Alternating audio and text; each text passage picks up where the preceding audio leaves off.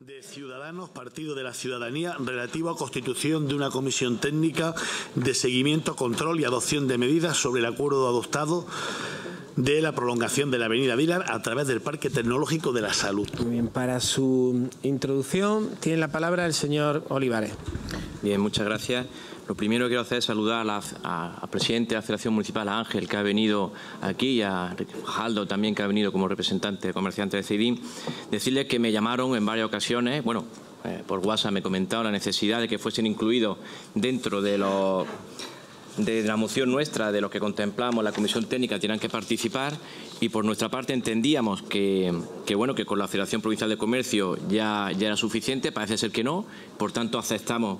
que se incluya, si todos los grupos lo ve bien, la Federación Municipal de Comercio, que esto sirva para que tenga más fuerza y mayor representación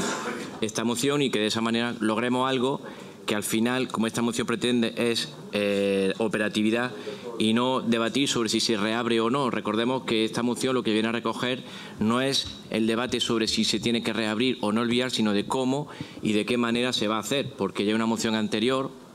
en la que fue aprobada por unanimidad, que recogía este posicionamiento político de que se reabriese el vial de la avenida Dilar. También hay otra moción por unanimidad en los Jíjares que recoge la misma intención de que se reabra el vial de la, de la avenida Dilar y por tanto lo único que cabe aquí es la perspectiva de la universidad que está en contra de esta reapertura por diferentes motivos y que no los cuestionamos, sino que lo que hay que hacer es intentar encontrar soluciones y una alternativa que suponga el menor daño posible a la universidad y a, lógicamente, a todo el campus, la posición del Consejo Consultivo que rechazó un expediente que ya se envió porque según se recogía en el propio expediente decía que no estaba demostrado el interés general, entendemos que ya sí con esta moción institucional con esta moción y con la los creo que ya está más que demostrado el interés general porque representamos a todos los ciudadanos no solo de Granada, sino también capital, sino también de Ojíjares y un informe necesario de movilidad que no contaba con él y otro de los beneficios al comercio que yo aquí sería un matiz y me gustaría que el informe también incluyese las pérdidas que ha sufrido el comercio porque veámoslo como todo aquello que ha sufrido el comercio de Cedín por culpa de este cierre y esta clausura que a todas vistas pues no se debió de hacer, pero que como, como hemos dicho muchas veces, a nosotros nos gusta para mirar para adelante y no para atrás,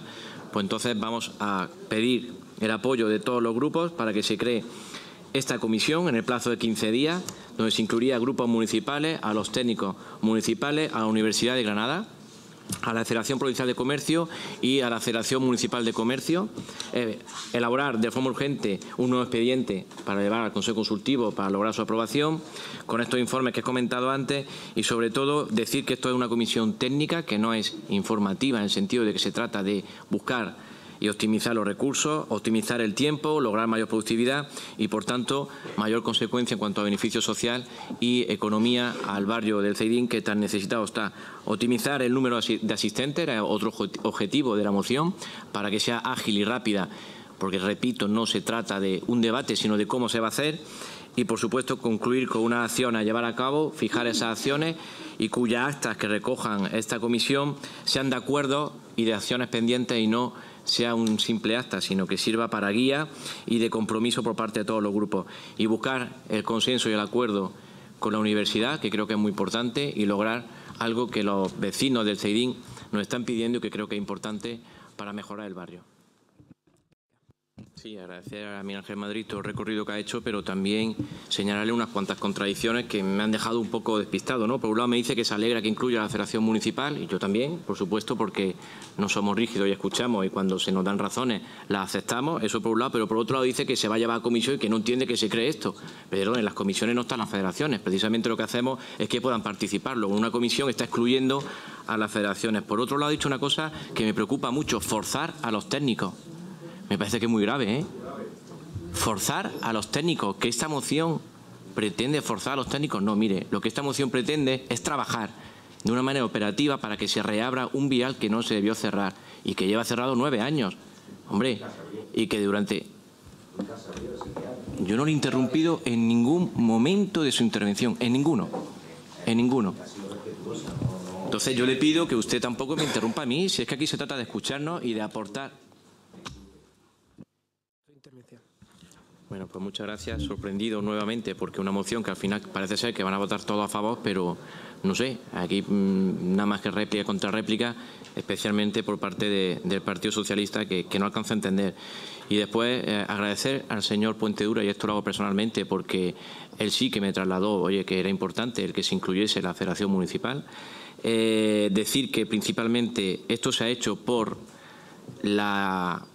capacidad de explicarnos al grupo, su presidente Ángel, la necesidad de que estuviese incluido. Nosotros eh, no pretendíamos incluir a nadie, se decidió ese primer